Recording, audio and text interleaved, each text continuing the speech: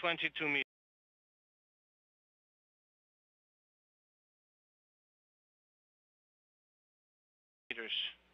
Copy.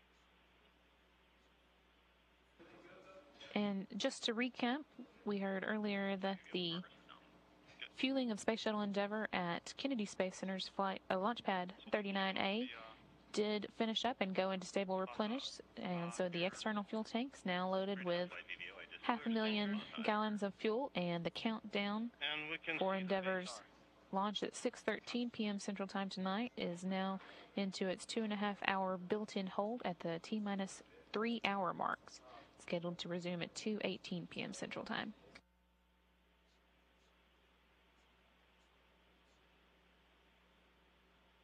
We are approaching one and a half squares.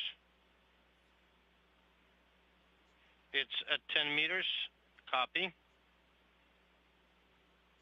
Uh, we are expecting um, close um,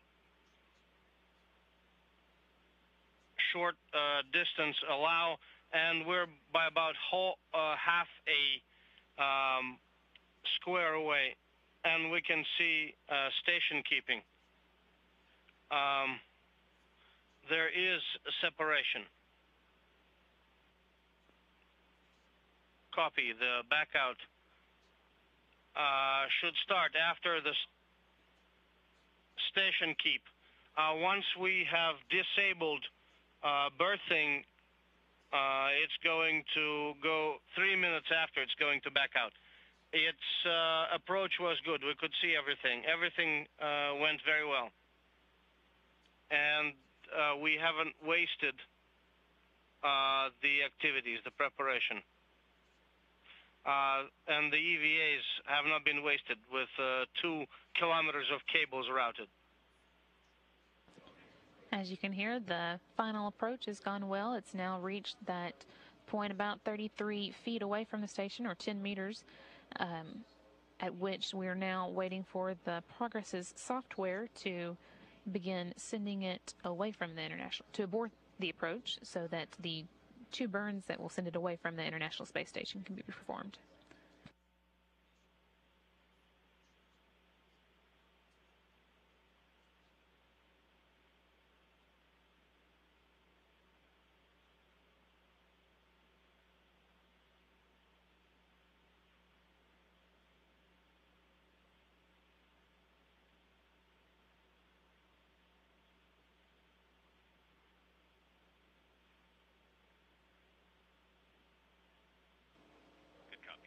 Flight controllers here on the ground report that the Progress has performed first burn, a good backaway burn that moves it away from the Zenith port on Zvezda service module. Another burn will move it retrograde away from the space station and prepare it for tomorrow's final deorbit burn that will drop it into orbit where it will burn up in the Earth's atmosphere. That is correct, Gennady. Uh, there is nothing that we can see. The picture is dark. Uh, is there any point in uh, keeping the recording going? Is the searchlight on? Yes, it is.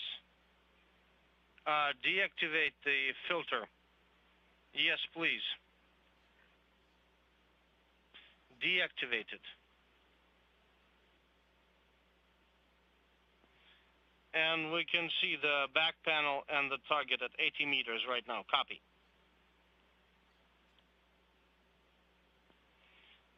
And the crosshairs um, are to the right with respect to the back panel.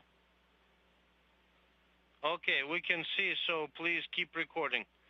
Yes, yes, with the filter off, it can continue recording. Seeing view now from the Cameras on board the Progress 33 as it moves away from the International Space Station, having successfully completed that re-rendezvous. Again, it was never intended to actually dock with the International Space Station. This was meant to just check out the antenna system that was installed during a spacewalk in June by Commander Gennady Padalka, who is currently talking with Russian controllers on the ground, and also by Flight Engineer, U.S. Flight Engineer 1 Mike Barratt. we're at about 130 meters and we can only see the shape of the target.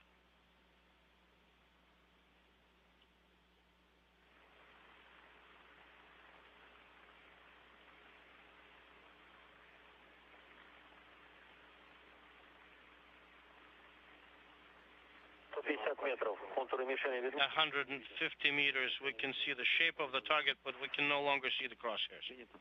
Copy. As you can hear it steadily moving away at now 150 meters or 492 feet. Closest it came to the docking port was about 10 meters or 33 feet.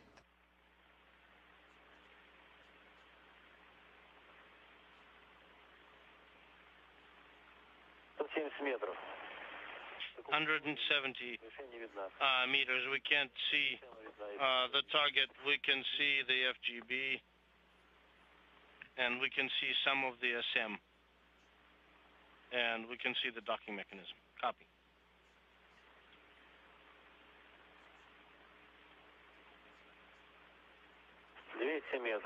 Two hundred meters.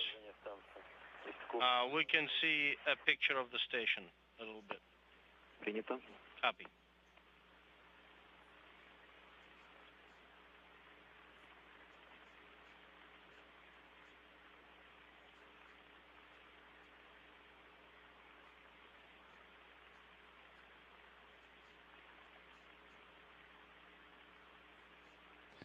With its final approach boarded a few minutes ago as planned, the two engine burns that moved the progress away from the station, first backing it away from the docking port and then moving it retrograde away from the International Space Station, have both been completed now, and the antenna system on the Progress that guided it into the station has been deactivated, so that test of the antenna system is complete. That again was to verify the accuracy of a docking target and antenna system installed last month on the Zvezda service module that will be used to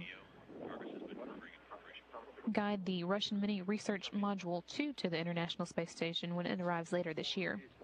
That module again will provide another docking port, port for Soyuz and Progress vehicles visiting the station and also provide about three cubic meters of volume inside the station for stowing cargo and setting up science hardware. You can turn it off. Okay, turning it off. Copy.